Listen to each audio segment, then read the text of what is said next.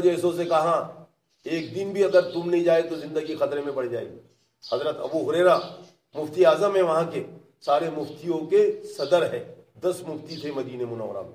हज़रत अबू हुरेरा, ये सारे मुफ्तियों के सदर थे। कहा, अबू हुरेरा, अगर एक मरतबा भी तकाजे पी नहीं गए तो ज़िंदगी खतरे में पड़ जाएगी। ईमान के लाले निकल जाएँगे।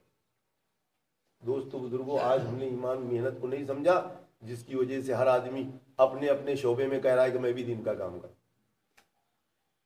अभी वहाँ उलमा में बात कर रहे थे मौलाना साहब साहब।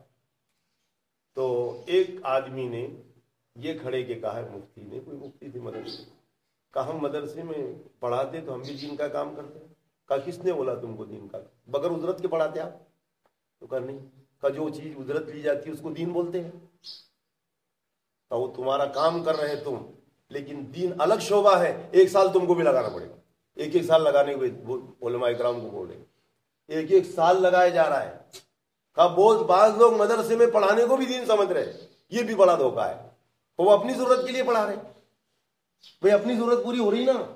बच्चों की जरूरतें है, पगार है, अपने शादियों का मसला है, घरों का मसला है। का ये जरूरतें पूरी करना, ये शरीयत है, लेकिन उसको दीन समझ के कि मैं भी दीन का काम कर रहा, ये धोखा है। ये धोखा मौत पे खुल जाएगा। कोई आदमी नमाज़ पढ़ रहा तो कह रहा, मैं दीनदार है।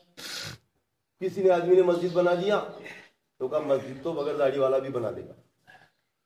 मस्जिद तो ऐसा आदमी भी बना देगा, जो कभी मस्जिद में नहीं आता। क्या कितने लोगों ने मगर ऐसे लोगों ने मस्जिद नहीं बनाई जो मस्जिदों में नहीं आते? ऐसे लोगों ने लाखों रुपये नहीं दिए मदरसों में जो कभी मदरसे को नहीं देखते? ये तो बहुत से लोग हिंदू लोग भी दान कर देते, लाखों रुपए। और भी कोई काम में दीन के, उनके दिन में।